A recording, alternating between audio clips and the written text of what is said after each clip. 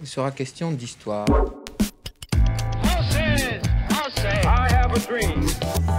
Je suis contre la peine de mort.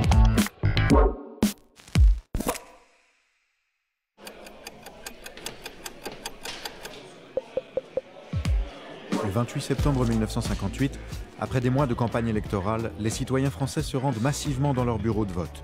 En métropole et dans les colonies françaises, ils sont invités à adopter ou à rejeter la nouvelle constitution. La victoire des partisans du oui est écrasante. Près de 80% des votants s'expriment en faveur de cette cinquième république. Des résultats qui témoignent de la volonté des Français d'en finir avec un régime à bout de souffle et avec une guerre qui s'enlise en Algérie.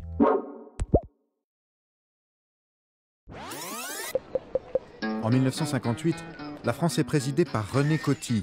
La Seconde Guerre mondiale est finie depuis plus de dix ans et les Français ont recommencé à vivre. car le goût de la musique ravage les foules. De là la fortune des jukebox qui débitent en tranches du rock'n'roll à volonté. Pourtant, la quatrième République, qui a à peine 12 ans, agonise. Son régime politique est instable. Les gouvernements n'en finissent plus de se succéder et rares sont ceux qui tiennent plus de six mois. Affaiblie, la France perd peu à peu son empire colonial. Après l'Indochine, le Maroc et la Tunisie, c'est l'Algérie qui revendique son indépendance. Depuis quatre ans, une guerre oppose les indépendantistes du FLN aux autorités françaises. Une guerre qui ne porte pas son nom, où tout semble permis, même la torture. Le 13 mai à Alger, un rassemblement en hommage aux trois Français fusillés par le FLN tourne à l'émeute. L'investiture du nouveau président du Conseil, Pierre Flimelin, inquiète. On dit qu'il veut négocier avec le FLN. Il faut protéger l'Algérie française. La foule envahit le bâtiment du gouvernement général et le met à sac. Les dissidents forment un comité de salut public et demandent au général Massu de le diriger. tout ce qui se passe à Alger se dégage une impression d'extrême confusion. L'émeute tourne à l'insurrection. Dans les jours qui suivent, l'agitation grandit et les manifestations éclatent dans tout le pays. Le 15 mai, le général Salan s'exprime depuis le balcon du Forum d'Alger. Il prononce le nom que la foule attendait. Il appelle le général de Gaulle, le héros de la France libre, à revenir au pouvoir pour reprendre les choses en main.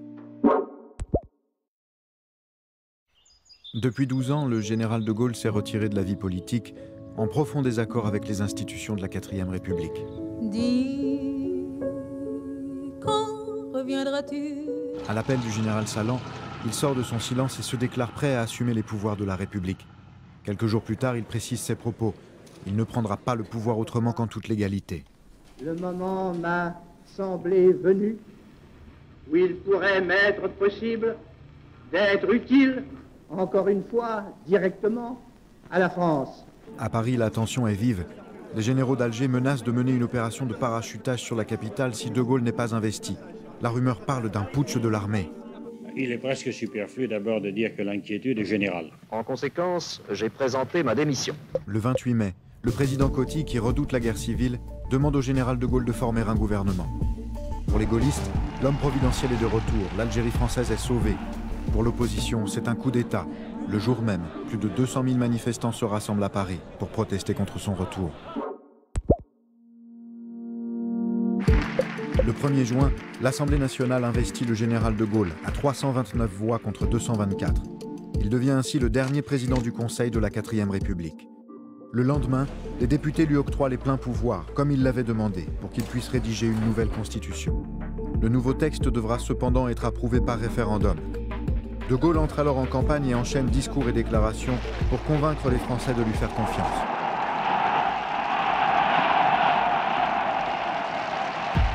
Au nom de la France, je vous demande de répondre oui. Moi, je vais être amené à voter non. 12 ans après le discours de Bayeux, dans lequel il présentait déjà sa vision des institutions, la Ve République voit le jour. Une république dont il sera élu le premier président le 21 décembre 1958. La France passe alors d'un régime parlementaire à un régime présidentiel, renforcé en 1962 par l'élection du président au suffrage universel. À Paris, la 5ème République est officiellement née. Je pense, mesdames et messieurs, que vous avez pu regarder ce programme dans de bonnes conditions et nous, nous avons fait de notre mieux pour vous fournir le maximum de renseignements. Bonsoir.